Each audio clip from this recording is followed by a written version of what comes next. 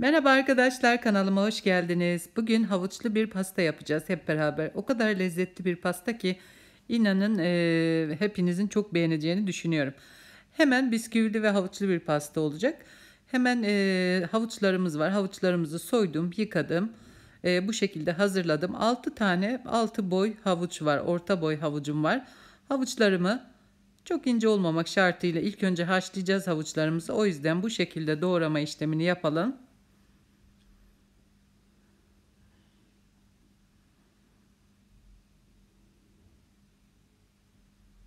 Ben düdüklü tencerede haşlayacağım. Çok daha erken işlem e, olsun diye.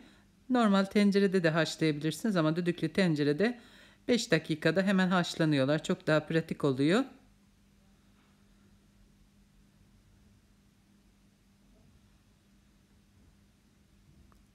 Evet havuçlarımız hazır. Şimdi tencereye koyacağız onları. Havuçlarınızın biraz taze olmasına dikkat edin. Çünkü biraz e, pörsümüs olan havuçların içindeki su miktarı da gitmiş oluyor. E, kıvam açısından da e, tu, biraz daha zor oluyor. Daha lezzetli oluyor. Mümkün olduğu kadar çok taze havuç e, kullanmaya çalışın. Şimdi tenceremin havuçları tencereye koyduktan sonra tenceremizin üzerine 2-3 e, parmak geçecek şekilde un, e, su döküyorum ve havuçlarımı haşladım. 6-7 dakika kadar haşladım düdüklü tencerede. Havuçlarım çok güzel yumuşadılar. Sert olmamaları gerekiyor arkadaşlar. Çok güzel yumuşamış olmaları gerekiyor. Şimdi e, düdüklü tencereden başka bir tencereye aktardım. Daha rahat çalışabileyim diye. E, blenderdan geçiriyorum havuçlarımızı. Püre haline getiriyorum. Şimdi içerisinde e, su miktarının biraz çok olması önemli e, tamamen e, çok fazla katı olursa da blenderdan geçirmemiz de zor olur. Bu şekilde gördüğünüz gibi krema kıvamına getirdim. Şimdi biraz nişasta ekleyeceğim. 3 dolu yemek kaşığı nişasta. Buğday veya mısır nişastası hiç fark etmez. Çok az bir suyla nişastamızı açalım iyice karıştıralım topak topak olmaması için. E, muhallebi kıvamını getireceğimiz için içerisinde beyaz beyaz topaklar kalmaması için güzelce karıştıralım ve havuçlu karışımımıza dökelim.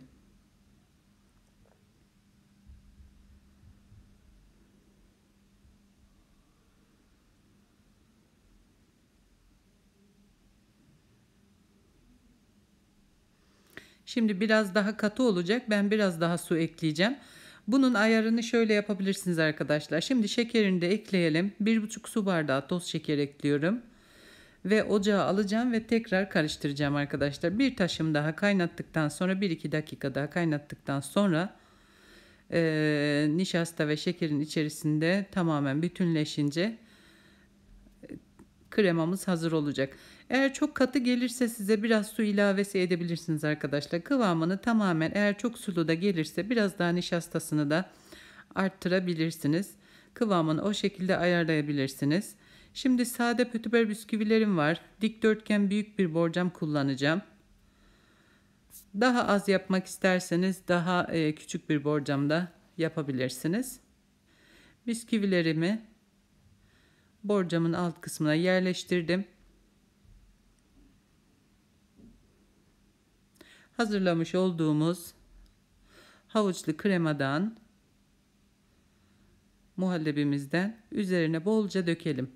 Çünkü e, havuçlu karışımımız bayağıca bir fazla. Çok az kullanmayın. Bolca bolca dökün. Hem çok daha lezzetli oluyor hem de e, görüntü olarak çok da güzel oluyor. Şöyle düzelttikten sonra ikinci kat bisküvilerimizi yerleştireceğiz.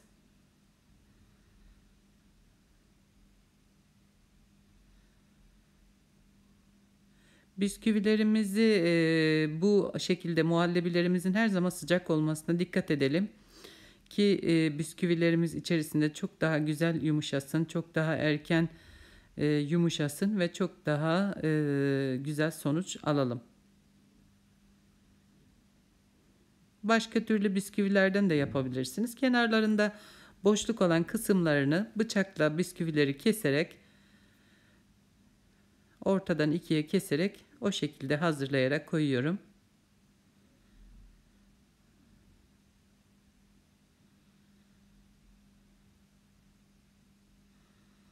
İsterseniz bu muhallebinizin içerisine çok az tarçın serpebilirsiniz. Tarçın da güzel oluyor ama bu şekilde de çok güzel alternatif olarak e, o şekilde de hazırlayabilirsiniz veya e, aralarına bol fındık ceviz de koyabilirsiniz. Ben sadesini yapıyorum ama hani e, alternatif olarak bu şekilde eklemeler yaparak pastanızı daha e, zenginleştirebilirsiniz arkadaşlar. Evet toplamda 4 kat yaptım ben pastamızı.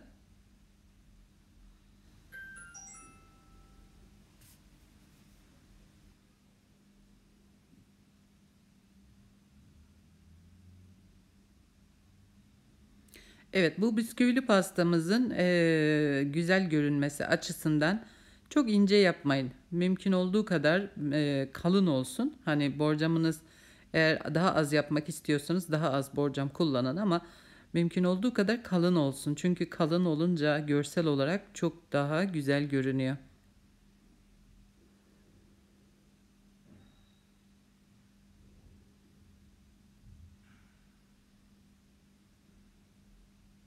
Evet son bisküvi katımı da yerleştiriyorum.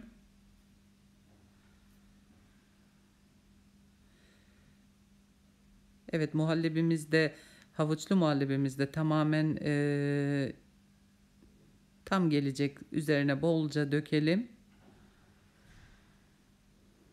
Bu pastamızın üzerine fındık çok yakışıyor arkadaşlar. Ee, bol fındık döktüm ben. İnce öğütülmüş un halinde e, fındık vardı elimde. Daha kırılmış kalın fındık da koyabilirsiniz ama e, cevizden ziyade fındık e, çok yakıştı. Çok e, yiyen herkes de çok beğendi. Evet tatlımızı hazırladıktan sonra mümkünse bir gece dolapta bekletin buzdolabında. Ama aceleniz varsa en az 3-4 saat kadar mutlaka beklemesi gerekiyor. İyice oturması, iyice dinlenmesi için. Ve şimdi dilimleme işlemine geçelim.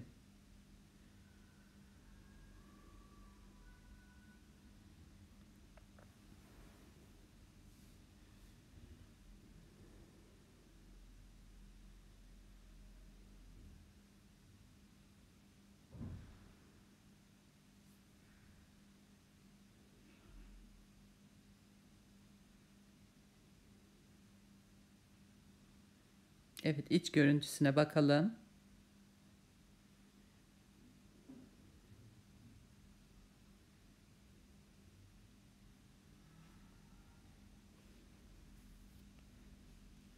Evet iç görüntüsü bu şekilde. Hem lezzet olarak hem tat olarak gerçekten çok güzel. Ee, içerisindeki havuçlu krema o kadar hafif ki Yiyen e, herkes bayıldı. Çok beğendiler tadını, kıvamını, yumuşaklığını, hafifliğini. E, mutlaka bu şekilde deneyin diyorum arkadaşlar. Evet son hali bu şekilde pastamızın.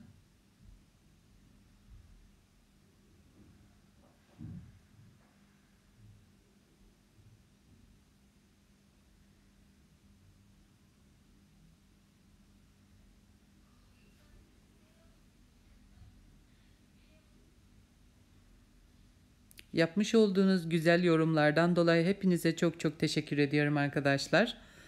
E, fikir ve önerileriniz varsa onları da yazarsanız e, e, fırsat buldukça hepsini okuyorum. Elimden geldiği kadar herkese dönmeye çalışıyorum arkadaşlar. E, çok fazla mesaj yoğunluğu oluyor bazen inanın yetişemiyorum. E, kusura bakmayın.